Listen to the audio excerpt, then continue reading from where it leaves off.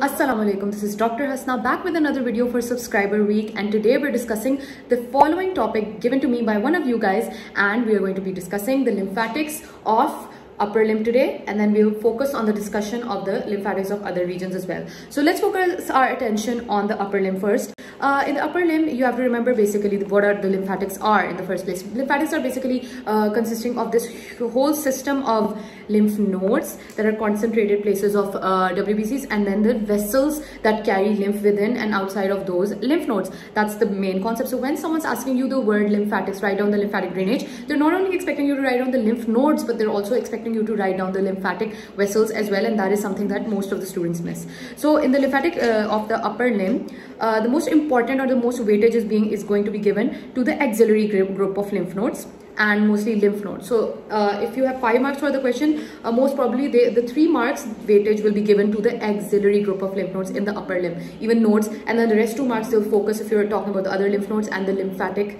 vessels as well. Okay, so let's talk about the axillary lymph nodes. Focus our attention to the board now. Axillary lymph nodes uh, are the main group that drains the lymph from the upper limb. All right. The first group uh, of the axillary lymph nodes, there are basically five groups in total, and the first group is anterior group of nodes, also known as the pectoral group of nodes. What what you need to know in these is the location of where this is kept. Remember this that uh, the lateral thoracic, it lies along the lateral thoracic vessels uh, and the lateral thoracic vessels where do i find those? You just find them in the lower part of the pectoralis minor. How difficult was that? Not at all. Okay and then we have the, the this is going to be basically draining most of your breast and uh, the rest of your anterior half of the trunk. Obviously their name is anterior group. What else do you expect them to drain?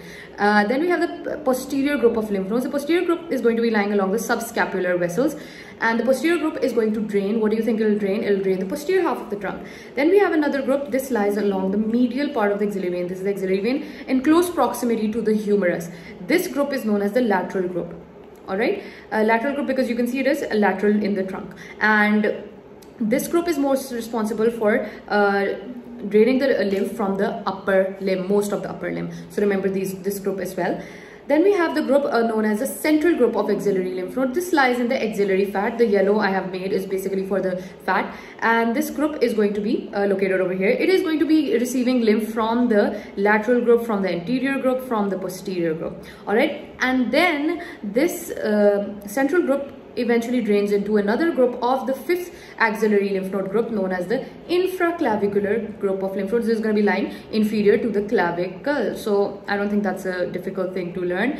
And the interesting part about these infraclavicular lymph nodes is that they are also uh, going to be draining um, the lymph from a very important and very like interesting place from the thumb. Remember that. From the thumb and the web of the thumb, the lymph goes into the infraclavicular group. This might be an MCQ question, so I want you guys to uh, make sure that you are noting this down. So that is for the uh, axillary lymph nodes. The five groups are complete. You should know their locations. Uh, then they uh, might ask or they, you might have to write the other group of lymph nodes very easy all you have to do is above the medial epicondyle of the humerus you just make these lymph nodes called the supratrochlear lymph nodes then we have the deltopectoral uh, group. This is basically lying in close proximity to the infraclavicular group. It's kind of like part of the infraclavicular group, but it is a little bit displayed. And that's enough. I don't think you need to write more lymph nodes than this. Now you'll just talk about the lymph vessels. What will you say about the lymph vessels? All you have to say is that the superficial lymphatics, these are going to be uh, draining into the axillary nodes and they will drain what? The skin and subcutaneous tissue. You just translate the superficial word. And then we have the deep lymphatics. These are going to drain the deeper tissues and these also majority of them drain into the axillary lymph nodes. So right there you can see how important the axillary lymph nodes are.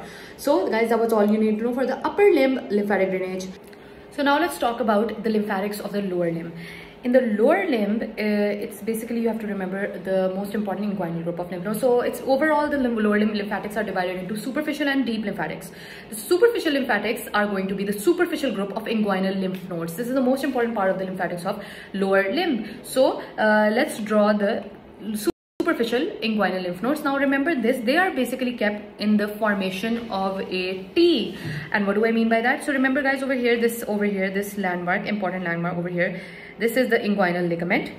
And just below the inguinal ligament, there's the medial part of the inguinal ligament, this is the lateral part of the inguinal ligament. And then what you can see here, this is a great saphenous vein. It's about to terminate, enter the uh, saphenous opening, right? Just about over in this area you have this t-shaped group of lymph nodes just like that.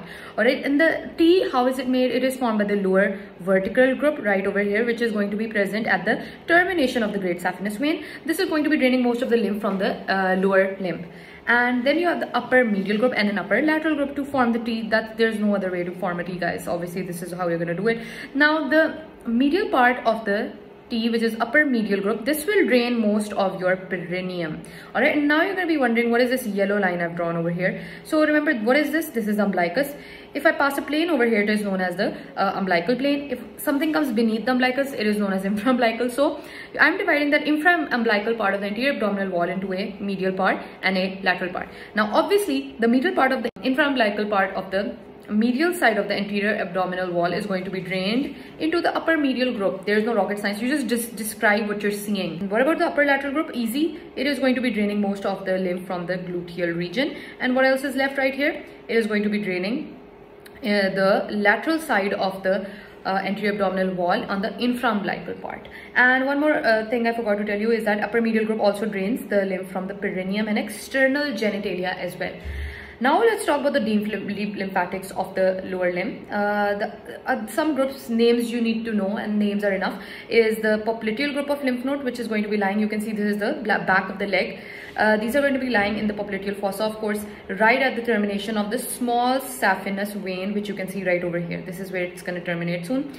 Uh, this is uh, where the popliteal group of lymph nodes is lying and the ones that lie with the anterior tibial artery. So let's suppose that this artery is anteriorly and just along them, this lies the anterior tibial nodes. These are a group of lymph nodes. So obviously these will drain the lymph nodes of their territory with what, whatever comes uh, close. So it's going to drain the anterior side of the leg whereas the popliteal group of lymph nodes will drain what the territory drained by the short saphenous vein or most of the leg now we have another group known as a deep lymph deep inguinal lymph nodes deep inguinal lymph nodes all they are going to do is receive most of the lymph from the popliteal group of lymph nodes and from the superficial group of inguinal lymph nodes.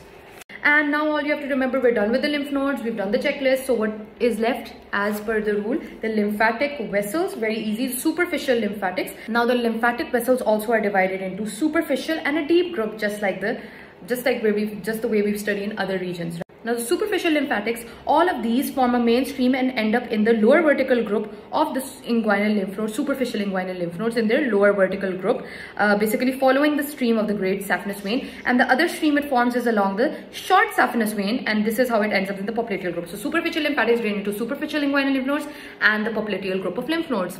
And finally the deep, these deep inguinal lymph nodes, they all just end up in the uh, deep inguinal lymph nodes and that is it. That's all you need to know for the lymphatics of the lower limb. I don't think that's too hard. Uh, so guys thank you so much for watching. This was all for the lymphatics. Uh, if you are wondering where the thorax lymphatics it's uh, in my video. I have placed the link in the description below where i've talked about the thoracic duct and thoracic wall. So that video is already there. You should go and check that out. So guys happy subscriber week to you all and thank you so much for watching. See you in the next video